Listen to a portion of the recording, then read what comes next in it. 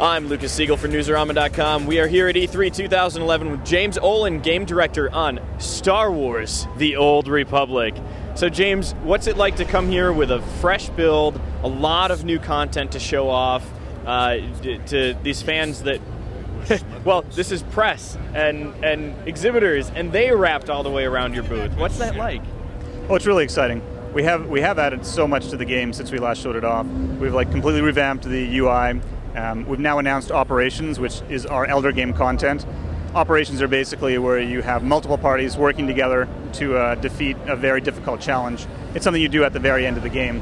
And um, our particular operation is pretty cool. You start off with your ship going down, you have to pilot an escape pod to the surface, and then you have to join up and uh, fight a whole bunch of uh, really cool things. So I won't give away everything because obviously it's the end of the game. So, um, but yeah, we're showing off a whole bunch of new stuff.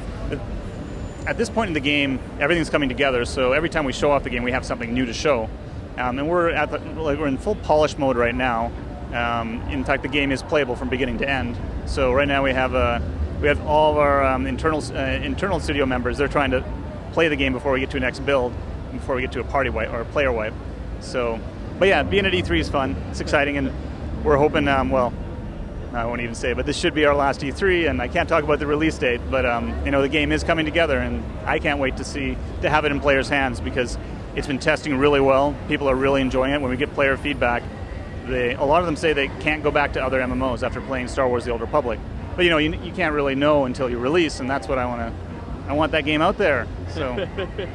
now we're seeing a unique positioning of both the light side and the dark side in this game, where you have the evil Sith Empire and you have the good Republic, but then players can actually choose to be light and dark, right? That's correct. Um, so the fact is, you know, the Republic is, um, at its core, it's a good political organization and at its core, the Sith Empire is an evil political organization. But the people within those two um, organizations, they can be good or evil, they can make good or evil choices. Um, it just depends on what actions they take. So as a player, if you're part of the Sith Empire, you don't have to be evil. You can try to fight against the orders that you're given. Um, you know, you have uh, you always have the excuse, I'm just following orders. Well, you don't have to be that guy who says that he's just following orders. You can be the guy who tries to tries to make a difference and tries to be good. good. So you can have a, a Sith warrior, you know, the Darth Vader style class, who's actually good and uh, very powerful in the light side of the Force. And actually, in one of our videos that we showed off, um, one of the Jedi Knights, if you're playing a Jedi Knight character, you actually have a chance to turn one of the Sith Lords to the good side instead of executing him. You defeat him in a duel, and then you can either choose to kill him outright, or you can choose to spare his life and bring him back to the Jedi Order for rehabilitation. And if you do that, well, I don't want to wreck everything, but there's a reward for it. So in a story sense, plus in a gameplay sense. Now, there are a lot of Star Wars fans out there who maybe uh, either don't play video games or specifically don't play MMOs. Um, how does this game open itself up to those fans that this might be their first massively multiplayer online game ever? Well, we've been very conscious of the fact that um, there's more Star Wars fans than pretty well any other IP in the world. It's a, uh, it's a fan base that I think numbers in the tens of millions. Um, and so we want to make sure that our game is very accessible. When you get into the game, we don't want it to, we don't want it to feel um, opaque, where you, you can't get into the interface or you don't understand any of the game mechanics. So we've been very careful to craft the early levels of the game to be quite easy to get into the game. Um, but in addition, we've tried to get rid of the things that turn people away from uh, massively online games. And what I feel is the thing that turns them away is the grind.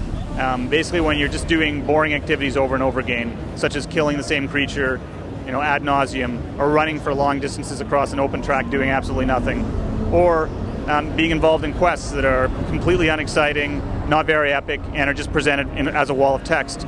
So the way our story is presented is we have epic combat. You're never doing boring activities. If you're traversing the desert, you're doing that on a speeder bike.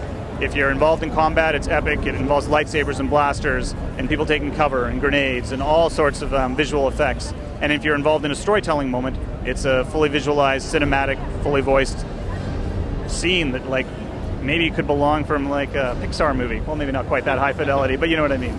But it's up there, okay. Yeah. So, uh, with a game this size, this scope, we're talking about a game that's easily 8, 10, 15 times larger than any BioWare game before.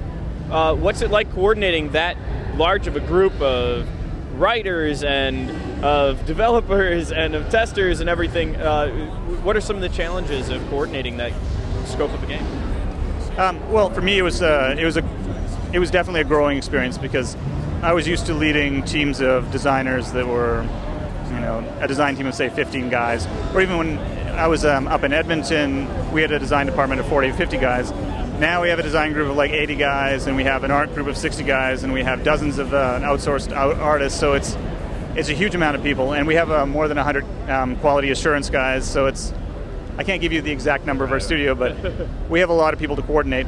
Um, so what it means is you have to trust your people. Uh, like you have to be able to empower the guys underneath you, and then those guys have to empower the guys underneath them. So you have to make sure that um, the project goals are being communicated very clearly, that everyone is on the same page to about what kind of game we're building, um, that they know what they're supposed to be doing. Because if you you can't be micromanaging things, no one can be micromanaging things, or the game will never get done. So and the good thing about that, though, is when someone feels, when a developer feels he has the freedom to make choices and do his own work, he's going to do a lot better work.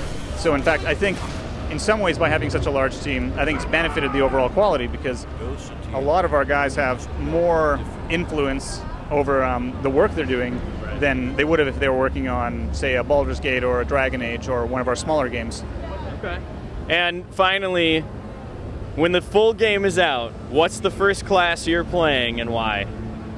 The Sith Warrior because Darth Vader's my uh, favorite character in the movies, and uh, yeah, just love Darth Vader. Nice and easy. All right, thank you very much, James. We appreciate it. Thank you. Stay tuned for much more from E3 2011.